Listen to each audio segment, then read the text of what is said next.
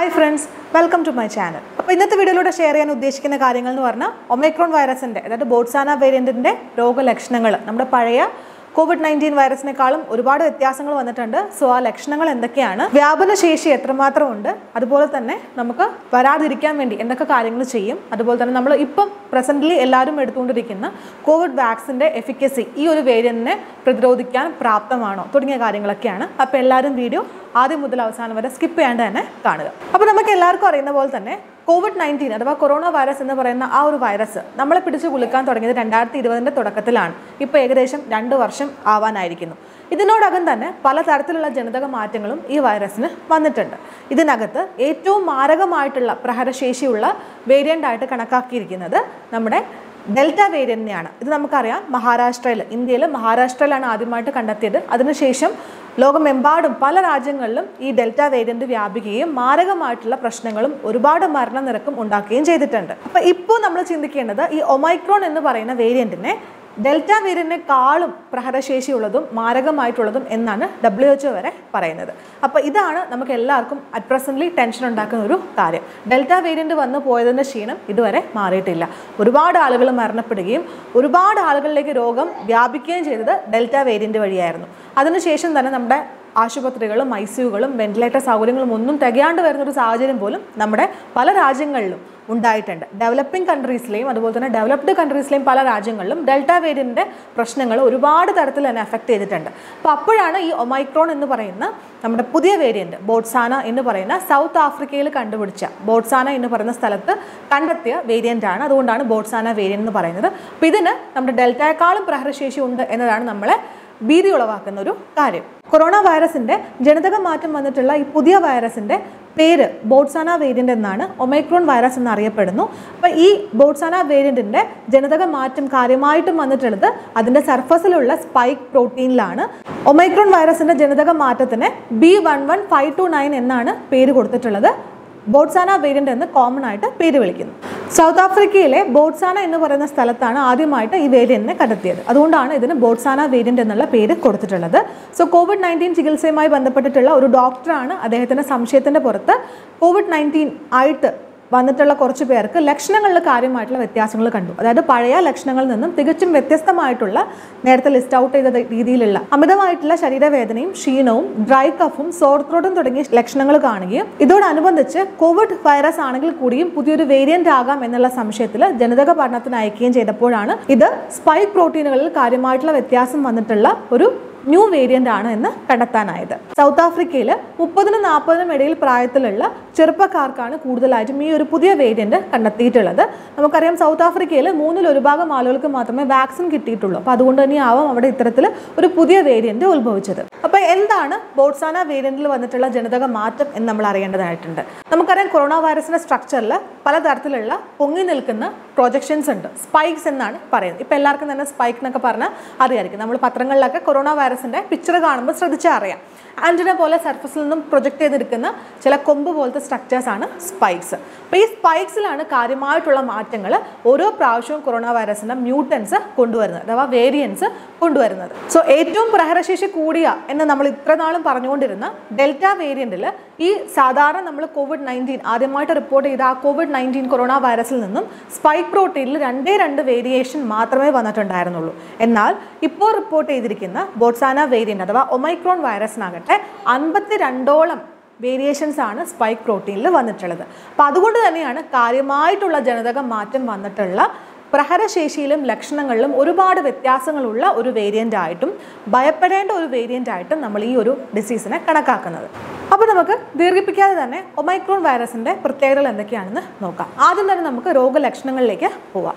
നമ്മുടെ പഴയ കൊറോണ വൈറസിന്റെ വേരിയൻസിൽ നിന്നും വ്യത്യാസമാണ് നമ്മുടെ ബോട്ട്സാന വേരിയന്റിന്റെ ഒമൈക്രോൺ വൈറസിന്റെ രോഗലക്ഷണങ്ങൾ എന്നുള്ളത് തന്നെയാണ് ഏറ്റവും വലിയൊരു പ്രത്യേകത.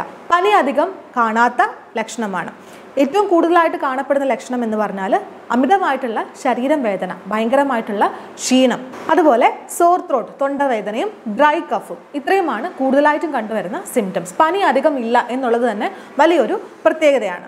ഇൻക്യുബേഷൻ പീരീഡ് അതായത് നമ്മുടെ ബോഡിയിൽ ഈ വൈറസ് കയറി കഴിഞ്ഞാൽ ലക്ഷണങ്ങൾ ഉണ്ടാക്കാൻ എടുക്കുന്ന സമയവും വളരെ കുറവാണ് ഒമൈക്രോൺ വൈറസിന്റെ കേസിൽ അപ്പോൾ ഇതൊരു പ്രധാനപ്പെട്ട കാര്യം തന്നെയാണ്. അതുകൊണ്ട് തന്നെ പെട്ടെന്ന് തന്നെ മറ്റുള്ളവരിലേക്ക് പകരാനും ഇത് കാരണമാകുന്നു. ഷോർട്ട് ഇൻക്യുബേഷൻ പീരീഡ് എന്ന് നമ്മൾ പറയും. അപ്പോൾ ഈ ബോട്സന വേരിയന്റിന്റെ കൂടുതൽ ഇൻഫർമേഷൻസ് നമുക്ക് പല പഠനങ്ങൾ വഴിയേ കിട്ടുകയുള്ളൂ.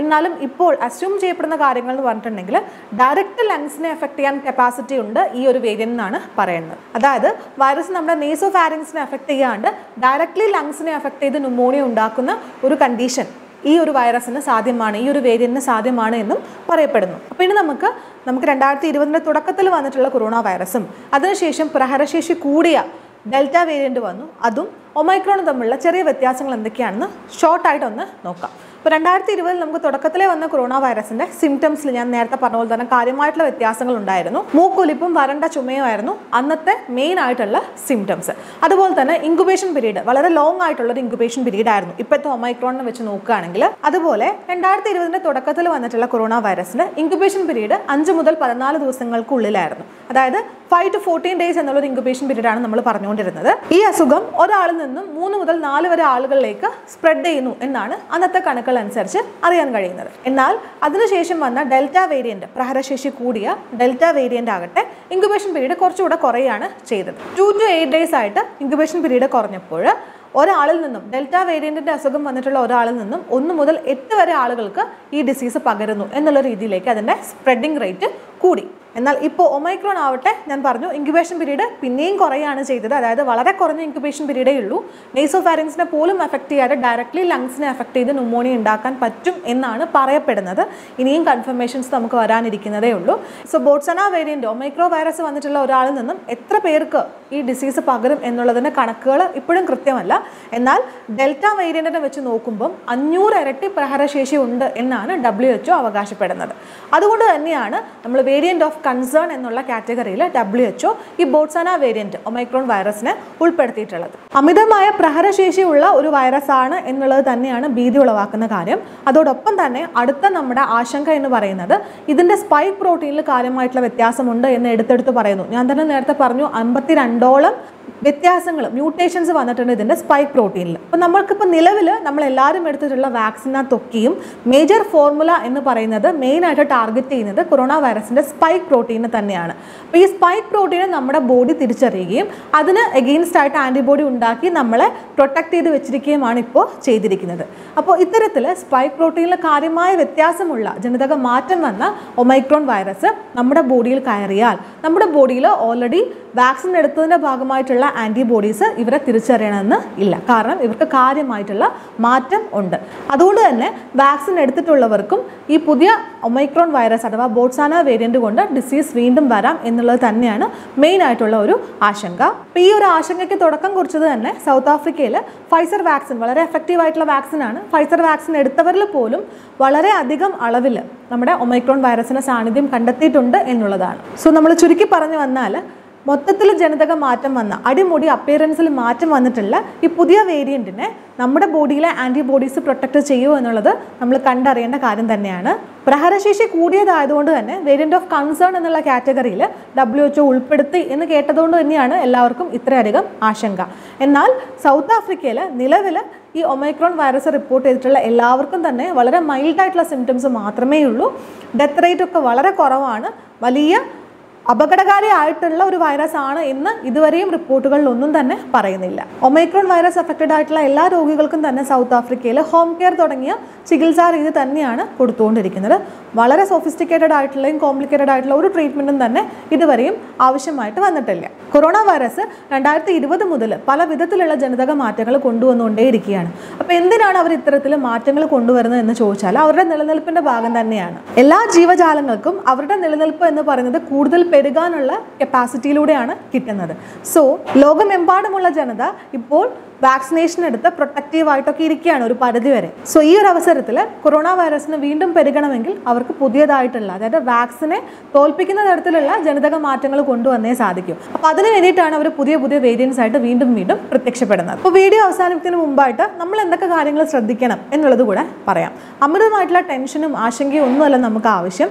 കരുതൽ തന്നെയാണ് ആവശ്യം. എപ്പോഴും പറയുന്ന പോലെ തന്നെ എല്ലാ കൊറോണ വൈറസും അതിപ്പോൾ ഏത് ജനിതക മാറ്റം വന്ന കൊറോണ വൈറസ് ആണെങ്കിൽ പോലും നമ്മൾ തുടക്കം തൊട്ട് പാലിച്ചു വരുന്ന എല്ലാ പേഴ്സണൽ ഹൈജീൻ മെഷേഴ്സും നമ്മൾ സ്വീകരിക്കേണ്ടതായിട്ടുണ്ട്. Hand washing hand sanitiser use ചെയ്യുക. അതുപോലെ തന്നെ നമ്മൾ സോഷ്യൽ ഡിസ്റ്റൻസിങ് ഉറപ്പുവരുത്തുക. പ്രഹരശേഷി കൂടിയത് എന്നതുകൊണ്ട് ഉദ്ദേശിക്കുന്നത് എന്താണെന്ന് ഞാൻ തുടക്കത്തിലെ പറഞ്ഞ പോലെ തന്നെ ഒരാളിൽ നിന്നും കൂടുതൽ ആളുകളിലേക്ക് സ്പ്രെഡ് ചെയ്യാൻ ഈ പുതിയ വേരിയൻസിനൊക്കെ പറ്റുമെന്നുള്ളത് നമ്മൾ മനസ്സിൽ വെക്കേണ്ട കാര്യമാണ്. അതുകൊണ്ട് തന്നെ വലിയ വലിയ സമ്മേളനങ്ങളും വലിയ വലിയ ഗ്യാതറിങ്സ് ഒക്കെ നമ്മൾ ഇനിയും ഒഴിവാക്കേണ്ടതായിട്ടുണ്ട്. നമ്മൾ സോഷ്യൽ ഡിസ്റ്റൻസിങ് മാക്സിമം പാലിക്കുക. അതോടൊപ്പം തന്നെ മുന്നേ ഉണ്ടായിട്ടുള്ള എല്ലാ വേരിയൻസും ഏറ്റവും കൂടുതൽ ബുദ്ധിമുട്ടുകൾ ഉണ്ടാക്കിയിട്ടുള്ളതും മരണത്തിലേക്ക് തള്ളിവിട്ടിട്ടുള്ളതും ഇമ്മ്യൂണോ കോംപ്രമൈസ്ഡ് ആയിട്ടുള്ള ഇൻഡിവിജ്വൽസിനെയാണ് റിസ്ക് ഗ്രൂപ്പിനെയാണ് ഈ റിസ്ക് ഗ്രൂപ്പിനകത്ത് പെടുന്നത് നമ്മൾ സാധാരണ എല്ലാ ഡിസീസുകൾക്കും പറയുന്ന പോലെ തന്നെ ക്യാൻസർ പേഷ്യൻസ് ഉണ്ട് എച്ച് ഐ വി പേഷ്യൻസ് ഉണ്ട് കിഡ്നി റിലേറ്റഡ് ഡിസീസസ് ഉള്ള പേഷ്യൻസ് ഉണ്ട് ഹാർട്ട് പ്രോബ്ലംസ് ഉള്ള പേഷ്യൻസ് ഉണ്ട് അതുപോലെ തന്നെ പ്രഗ്നന്റ് വിമൻ ഉണ്ട് കുട്ടികളുണ്ട്. അപ്പോൾ ഇത്തരത്തിലുള്ള കാറ്റഗറിക്കൊക്കെ പ്രശ്നം എന്ന് വെച്ചാൽ അവർക്ക് ഇമ്മ്യൂണിറ്റി വളരെയധികം കുറവാണ്. ഇമ്മ്യൂണോ കോംപ്രമൈസ്ഡ് ആണ്. അതോടൊപ്പം തന്നെ നമ്മുടെ ജീവിതശൈലി രോഗങ്ങളായിട്ടുള്ള പ്രമേഹവും പ്രഷറും കൊളസ്ട്രോളും ഒക്കെ വളരെയധികം കൂടുതലുള്ള സൊസൈറ്റി തന്നെയാണ് നമ്മുടേത്. അപ്പോൾ ഇത്തരത്തിലുള്ള ആളുകളൊക്കെ കുറച്ചും കൂടെ കരുതലെടുക്കുക ഇത്തരത്തിലുള്ള ആളുകളൊക്കെ നിർബന്ധമായിട്ടും വാക്സിൻ എടുത്തിരിക്കുക എന്നുള്ളത് വളരെ ഇമ്പോർട്ടന്റ് ആണ്.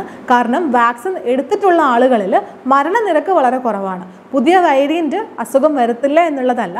അസുഖം വന്നാലും മരണത്തിലേക്ക് പോവില്ല എന്നുള്ളത് വളരെ വലിയൊരു കാര്യം തന്നെയാണ്. അതാണ് പഠനങ്ങളൊക്കെയും തന്നെ റിപ്പോർട്ട് ചെയ്യുന്നത്. ഏത് പുതിയ വേരിയന്റ് വന്നാലും മുന്നേ വാക്സിൻ എടുത്തിട്ടുള്ളവർക്ക് വരാം. വരില്ല എന്നല്ല. കാരണം ആ വാക്സിന്റെ എഫിക്കസി കുറവായിരിക്കും.